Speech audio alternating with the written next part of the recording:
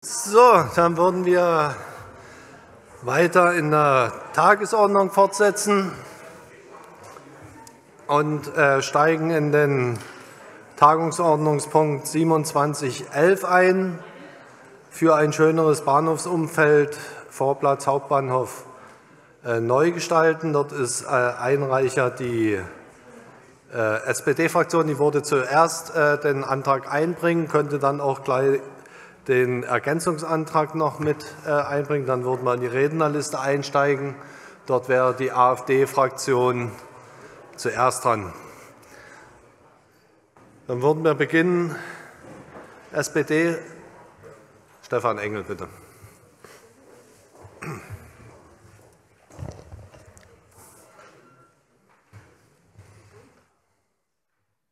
Durch, durch. Kann ich doch einfach durch. Alles gut. Ja, sehr geehrter erster Bürgermeister, äh, liebe Kolleginnen und Kollegen, ähm, Bahnhöfe sind oft ein Tor zur Stadt. Das ist der Ort, an dem Menschen Städte das erste Mal ganz bewusst wahrnehmen, wo sie hineintreten, wo sie oft nach langen Reisen ankommen und wo ein erster Eindruck entsteht. Man tritt aus dem Bahnhofsgebäude heraus, man will zu seinem Hotel, ähm, man will zu einem Taxi, man will in den ÖPNV umsteigen. Ja, und wer das in anderen Städten kennt, das kann manchmal sehr entspannt ablaufen, das kann manchmal aber auch ähm, nicht so befriedigend sein. Und ähm, wir als SPD-Fraktion haben uns tatsächlich diesem Thema angenommen, nämlich mit Blick auf den Dresdner Hauptbahnhof. Ähm, Sie kennen sicherlich alle diesen wunderschönen Zwischenraum zwischen den beiden Brücken hier ähm, am Hauptbahnhof. Man tritt da aus der Halle ähm, heraus und geht dann hier zu den Haltestellen der Linien 3 und 8, hat dann irgendwie Taxis, die da so sind. Sie sehen hier viele schöne Tauben auch im Bild, die dieses Umfeld ähm, bereichern. Und wir haben hier ähm, ja, eine Situation, ähm, die sicherlich nicht zu den schlimmsten in unserer Stadt gehört. Das wollen wir als SPD-Fraktion hier an dieser Stelle gar nicht sagen, sondern wir wollen einfach deutlich machen, das ist der Zustand, den Reisende vorfinden, wenn sie aus dem Hauptbahnhof in Dresden hinaustreten. Und das ist eine Situation, die wir tatsächlich an dieser Stelle auch für verbesserungswürdig halten, weil die Stadtverwaltung hat sowohl für die Nordseite als auch für die Südseite des Hauptbahnhofs, also sowohl für den Wiener Platz als auch für die Bayerische Straße, ähm, Ansätze, wie sie dort in den nächsten Jahren eine Weiterentwicklung vornehmen will, damit das tatsächlich lebenswerte und auch attraktive Eingangstore in unsere Stadt auch werden. Für diesen Zwischenraum, der genau zwischen diesen beiden Bereichen liegt, hat sie das hingegen unserem Kenntnisstand nach nicht. Und um, um, und um, was geht es uns ganz konkret bei unserem Antrag hier zum Hauptbahnhof Ost? Es geht uns um verschiedene Defizite, die wir tatsächlich ähm, sehen und wir, wir, tatsächlich der Stadtverwaltung auch ähm, ja, ein paar Hinweise mitgeben wollen, was man besser machen könnte. Da geht es zum Beispiel um das Thema Wegweisung. Ähm, wer es kennt, die Dresdner und Dresdner wissen es natürlich, ja, wo fährt hier eigentlich welche Straßenbahn an diesem Hauptbahnhof. Das ist aber wiederum für Auswärtige nicht so trivial, dass man eben nicht alle Linien an dieser Haltestelle vorfindet. Die verdreckte Situation ist Ihnen sicherlich ja auch allen jetzt auch deutlich geworden. Wir haben in gewissen, vor allem so im Herbstzeiten, ein Helligkeitsproblem, insbesondere unter diesen Brückenanlagen. Wir haben ganz großes Problem mit Fahrradleichen, die dort sich insbesondere an diesen Geländern auch ballen. Und wir haben tatsächlich insgesamt eine sehr, sehr steinerne Gestaltung, die diesen Zwischenraum aus unserer Sicht auch wenig attraktiv macht. Das ist richtig, Herr Dr. Pauns. Ähm, aber ich glaube, das ist, da müsste man, glaube ich, dann mit der Deutschen Bahn reden, ob die da eine Kamera dulden. Ähm, aber das können wir dann äh, bilateral besprechen. Sehr gut. Ähm, genau. Und wir sehen als SPD-Fraktion hier tatsächlich einen gewissen Handlungsbedarf. Tatsächlich mit kleineren Maßnahmen diese Situation im Umfeld des Hauptbahnhofs auch zu verbessern. Denn der Hauptbahnhof wird auch zur Bundesgartenschau 2033 ein ganz, ganz wesentliches Eingangstor zu unserer Stadt. Und wir haben zu dem Antrag hier auch eine positive Beschlussempfehlung, die im Grundsatz auch bejaht, da gibt es ein Problem und die Stadtverwaltung sollte sich mal Gedanken machen. Das ist auch gut. Wir wollen aber mit unserem Ergänzungsantrag, den ich hiermit auch einbringe, gerne wirklich noch diese konkreten Prüfvorschläge. Das heißt nicht, dass das alles umgesetzt wird, das heißt auch nicht, dass das alle hier im Raum gleichermaßen teilen müssen, aber gewisse Prüfvorschläge mitgeben, die man tatsächlich auch noch ähm, jetzt einfach mal angehen sollte. Und da geht es zum Beispiel auch so um Sachen, die im Laufe der Diskussion auch äh, hinzugekommen sind. Ich möchte da zum Beispiel eine Sache erwähnen. Im Beirat für Menschen mit Behinderung wurde ähm, die Forderung erhoben, ein Bodenleitsystem in diesem Bereich zu installieren. Und das ist tatsächlich essentiell. Für uns hier im Raum sicherlich nicht, aber für Menschen mit ähm, Sehbeeinträchtigungen oder tatsächlich Menschen, die blind sind, ist das ganz, ganz wichtig, eben aus dem Hauptbahnhof sicher zum ÖPNV zu kommen. Und das haben wir hier derzeit an dieser Stelle noch nicht. Und da sind sehr, sehr viele weitere, sehr konkrete Punkte drin enthalten, wo wir einfach sagen, liebe Verwaltung, macht euch da mal auf den Weg und schaut auch, inwieweit man das eben zum Beispiel auch in der entsprechenden Förderkulisse doch noch mit reinbekommt. Das ist im äh, Ergänzungsantrag auch so benannt. Und es würde mich freuen, wenn wir dieses kleine, aber vielleicht für unsere Stadt doch nicht ganz unwichtige Anliegen hier heute auch auf den Weg bringen könnten. Vielen Dank.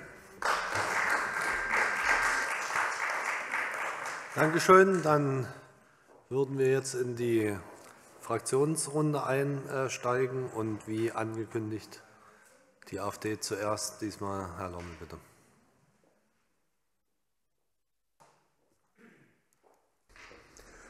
Ja, sehr geehrter Herr Erster Bürgermeister, liebe Kolleginnen und Kollegen, liebe Zuschauer am Livestream und auch noch oben ein paar, die es aushalten. Ähm, ja, äh, der Antrag von der SPD im Grunde genommen eine interessante Idee, diesen Platz zu äh, verschönern. Ähm, aber handwerklich finde ich sehr, sehr schlecht gemacht worden. Also hatten dann Herr Engel im Bauausschuss diese lange Diskussion gehabt und dann wurden diese ganzen Einzelpunkte herausgenommen und jetzt sehe ich in den Ergänzungsvorschlag von Ihnen wieder. Ja, also nichts gelernt aus dem Ausschuss, ein bisschen schade. Ähm, über Deckungssachen äh, gesprochen, wo eigentlich so konkret alles letztendlich schon aufgeführt worden war. Das korrigieren Sie jetzt und sagen, okay, muss ja nicht so ganz konkret sein. Ähm, ja, ist nichts davon hängen geblieben. Gut. Dann äh, haben wir natürlich hier eine Riesenproblematik, Eigentumsverhältnisse, äh, Deutsche Bahn. Sie wissen, das ist immer sehr, sehr problematisch, wer, wem gehört was, wo. Diese Sache eine ganze Berücksichtigung hat hier auch keine Rolle gespielt, sollte man auch berücksichtigen. Wie dem, wie dem auch sei, die Idee auch jetzt für Behinderte, Leute mit Benachteiligung da auch nachzubessern, auch gute Idee, aber eben einfach handwerklich schade. Und äh, ich finde, das ist eine Idee, wo man sagen kann, lass uns das machen, A, mit dem neuen Haushalt, wo auch tatsächlich eine Umsetzungsidee vielleicht stattfindet, weil Geld dafür da ist.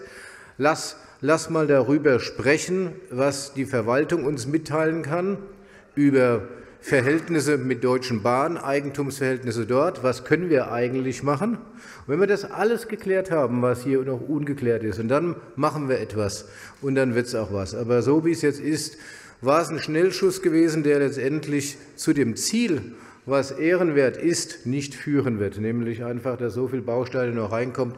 Wir werden es deswegen ablehnen. Wir werden die Idee im Blick haben, wenn es dann in, in vielleicht eine besseren Form dann noch mal gießen und dann wird es vielleicht auch tatsächlich werden. Vielen Dank. Wir machen weiter. Äh, Fraktion Bündnis 90 Grünen, Herr Dr. Deppe. Das mal hier vom Platz. Also Herr Engel hat eigentlich alles gesagt. Äh, wir unterstützen das sehr, dass das Bahnhofsumfeld aufgewertet wird. Ähm, und wir unterstützen auch den Ergänzungsantrag oder der äh, SPD, weil es eben tatsächlich darum geht, dass ganz konkrete Maßnahmen dort geprüft werden. Und ähm, da hat die SPD tatsächlich äh, einiges aufgezählt, ähm, was uns auch sehr sinnvoll erscheint. Und wir möchten wirklich, dass das Punkt für Punkt von der Verwaltung geprüft wird.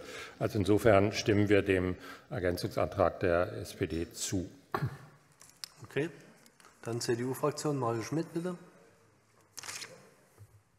würde das auch direkt vom Platz machen. Wir haben, Herr Lommel hat es gerade schon gesagt, im Bauausschuss ähm, diese ganze lange Prüfliste Einzelpunkte rausgenommen aus dem äh, federführenden Ausschussvotum. Aus meiner Sicht ist das Ausschussvotum vom Bauausschuss ähm, durchaus zustimmungsfähig.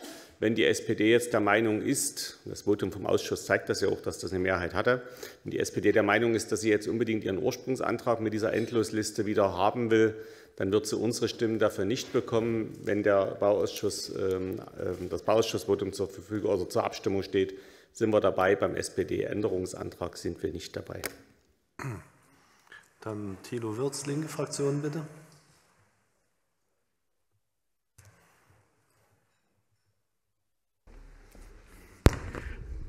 Ja, sehr geehrter erster Bürgermeister, liebe Stadträte, liebe Stadträte, die Problematik des Antrages ist schon aufge, aufgeführt worden. Er äh, begründet ein durchaus verständliches Bedürfnis, nämlich dass dieser Platz auch an der äh, Ostseite im Prinzip ein Stück weit äh, verschönert wird. Ähm, er ist bisher in keiner Förderkulisse drin, es ist auch schwierig. Wenn man dort die Tauben vergrauen will, müssen wir mit, Reise, äh, mit der, Bundesbahn, mit der Bundesbahn reden, äh, weil die Brücke natürlich nicht im Eigentum, im, im, im Befugnisbereich, dort, äh, im, im, Einflussbereich oder im Zuständigkeitsbereich der Stadt ist.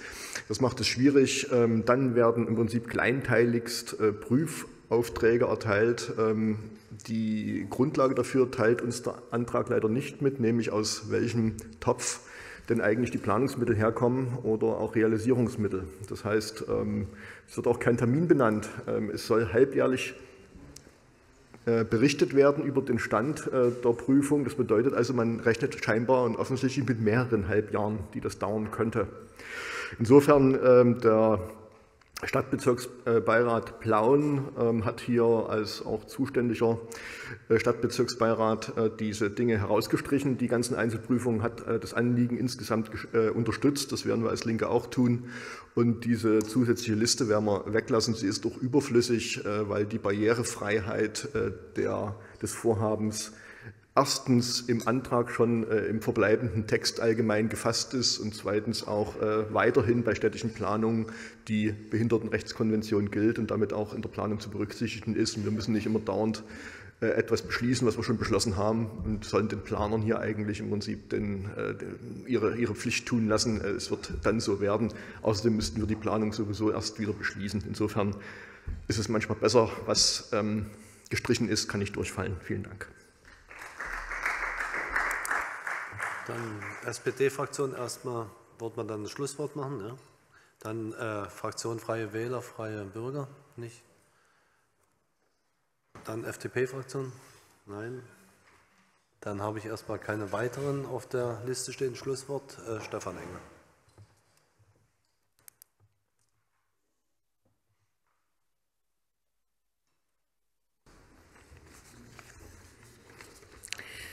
Ja, sehr geehrter erster Bürgermeister, liebe Kolleginnen und Kollegen, ähm, ist ja schon manchmal schon etwas eigen. Äh, hier vorne wird regelmäßig kritisiert, äh, wenn Anträge nicht konkret gefasst genug sind, wenn man nicht weiß, was die Verwaltung dann tun soll. Was soll sie jetzt eigentlich konkret verbessern und prüfen? Wenn man es hingegen konkret fasst, ist es auch wieder nicht gut. Ähm, es scheint ein bisschen ein Paradoxon hier zu sein.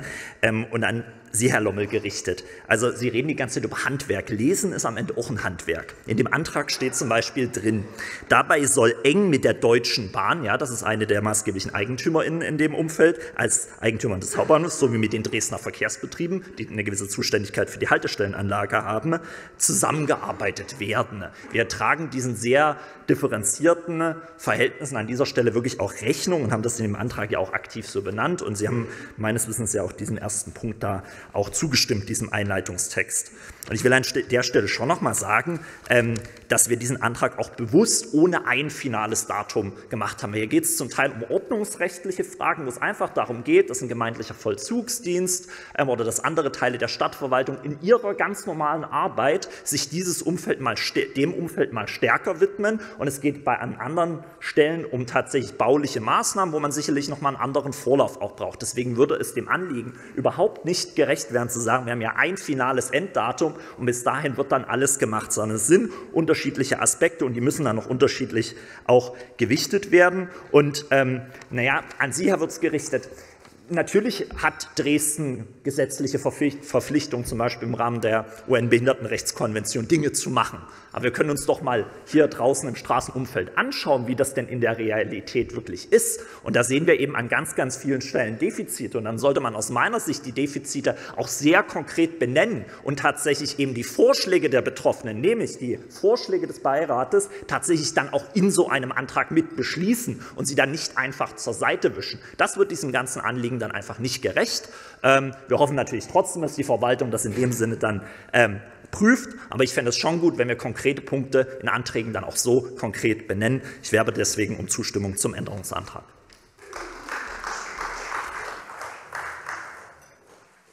Okay, dann würden wir äh, zur Abstimmung kommen. Ich würde zuerst den Ergänzungsantrag zur Abstimmung stellen, der den federführenden Ausschussbericht ergänzen würde. Wer diesem Ergänzungsantrag zustimmen kann, den bitte ich um das Stimmzeichen.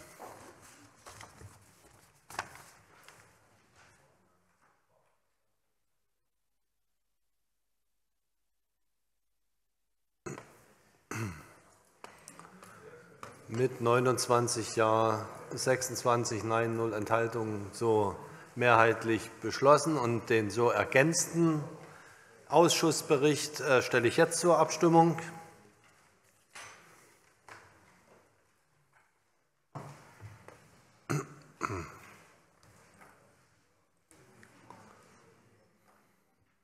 Der hat mit 30 Ja, 25 Nein, 0 Enthaltung dann ebenfalls eine Mehrheit bekommen. Vielen Dank. Und wir kommen zum Tagesordnungspunkt.